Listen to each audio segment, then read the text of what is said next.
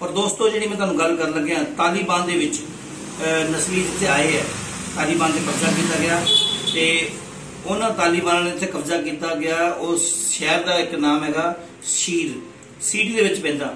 ਉਹਨਾਂ ਨੇ 70 ਉਗਰਵਾਦ ਦੀ ਮਾਰ ਦਿੱਤੇ ਹੈ ਤੇ ਉਸ ਉਸ ਸਿਟੀ ਨੂੰ ਸਾਰੇ ਨੇ ਘੇਰਾ ਪਾ ਲਿਆ ਤਾਲਿਬਾਨੀਆਂ ਨੇ।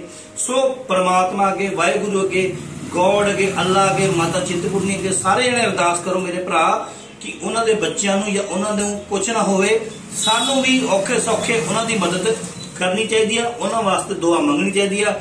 ਅੱਲਾਹ ਤਾਲਾ ਉਹਨਾਂ ਨੂੰ ਖੁਸ਼ ਰੱਖੇ। ਸੋ ਆਪਾਂ ਗੱਲ ਕਰਨਾ ਚਾਹੁੰਦੇ ਆ ਪੜ ਬਿਸਮਿਲ੍ਲਾ ਚਰਾਗ ਜਗਾਵਾਂ, ਪੂਰੀ ਖੁੰਡੀ ਤਨਵੇ ਲਾਵਾਂ ਲਾਈ ਚਮੜੀ ਢੋਲ ਲਾਵਾਂ ਅੱਲਾਹ ਦਾ ਡਗਾ ਲਗਾਵਾਂ। ਜਿਹੜੇ ਲੋਕ ਕਿਸੇ ਦੀ ਜਾਨ ਲੈਂਦੇ ਆ, ਅੱਲਾਹ ਉਹਨਾਂ ਨੂੰ ਕਦੀ ਮਾਫ ਨਹੀਂ ਕਰਦਾ। ਗੁਨੇਗਾਰਾਂ ਦੇ ਵਿੱਚ ਉਹਨਾਂ ਦਾ ਨਾਮ ਲਿਖਿਆ ਜਾਂਦਾ ਵਾ। ਔਰ ਜਿਹੜਾ ਬੇਕਸੂਰ ਨੂੰ ਮਾਰਦਾ ਵਾ ਉਹ ਅੱਲਾਹ ਤਾਲਾ ਨੂੰ ਕਦੀ ਮਾਫ ਨਹੀਂ ਕਰਦਾ। ਇਹ ਕੁਰਾਨੇ ਪਾਕ ਵਿੱਚ ਲਿਖਿਆ ਵਾ। ਸੋ ਉਹਨਾਂ ਦੀ ਸੀਟੀ ਵਿੱਚ ਜਿਹੜੇ ਬੰਦੇ ਫਸ ਗਏ ਵਿਚਾਰੇ ਉਹ ਵਿਚਾਰੇ ਉਹਨਾਂ ਨੇ ਹਾਰ ਨਹੀਂ ਮੰਨੀ। 70 ਅਹ, 60 70 ਬੰਦਿਆਂ ਨੂੰ ਉਗਰਵਾਦੀਆਂ ਨੂੰ ਉਹਨਾਂ ਨੇ ਮਾਰ ਦਿੱਤਾ। ਸੋ ਉਹਨਾਂ ਦੇ ਨਾਲ ਔਰ ਉਹਨਾਂ ਸਾਰੇ ਹਿੰਦੁਸਤਾਨੀ ਆਪਾਂ ਜਿੰਨੇ ਵੀ ਹੈਗੇ ਸਾਰੇ ਉਹਨਾਂ ਦੀ ਬੱਚਿਆਂ ਦੀ ਤੇ ਉਹਨਾਂ ਦੀ ਦੁਆ ਮੰਗੋ। ਉਹਨਾਂ ਦੇ ਵਾਸਤੇ ਸਾਰੇ ਨੇ ਪਿਆਰ ਕਰੋ।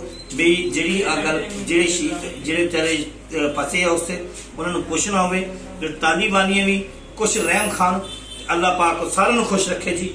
ਇੰਨੇ ਨਾਲ ਇਜਾਜ਼ਤ ਦੇਣਾ ਜੀ ਮੈਂ। ਵਾਹਿਗੁਰੂ ਜੀ ਕਾ ਖਾਲਸਾ ਵਾਹਿਗੁਰੂ ਜੀ ਕੀ ਫਤਿਹ। ਜੈ ਭਾਰਤ ਜੈ ਭੀਮ ਜੈ ਗੁਰੂ ਵਾਲਮੀਕ ਜੈ ਗੁਰੂ ਰਵਿਦਾਸ। ਹਲਾ ਲੋਈਆ ਗੌਸ ਪਾਕ ਸਾਰੇ ਖੁਸ਼ੀਆਂ ਦੇਵੇ।